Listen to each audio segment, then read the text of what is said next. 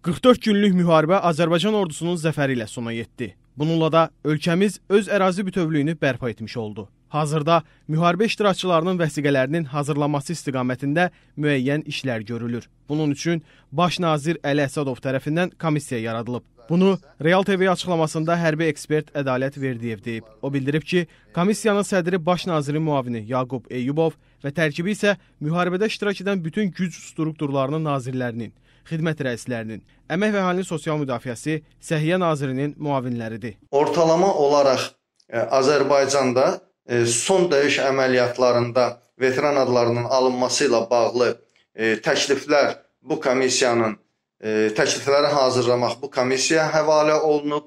Komissiya isə öz növbəsində işini daha mükəmməl şəkildə təşkil etmək üçün müəyyən ekspert qruplarını və işçi qrupları komissiyaya cəlb etmək hüququna malikdir.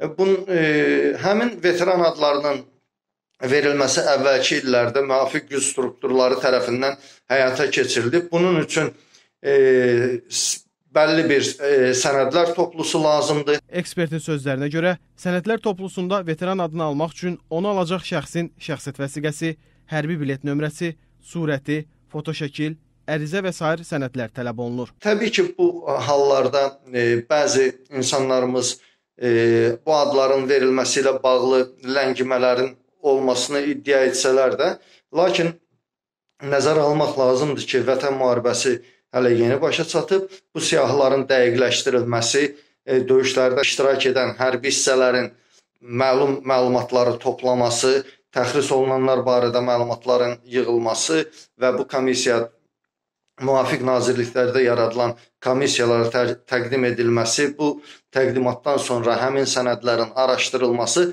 bəlli bir müddət tələb edir. Ədalət Verdiyev qeyd edib ki, döyüşlərdə iştirak edən bir Azərbaycan əskəri belə veteran adından məhrum qalmayacaq. Bunun üçün yaxın günlərdə həmin sənədlərin hazırlanması və verilməsi üçün bütün tədbirlərin görülüb başa çatacağı ehtimal olunur.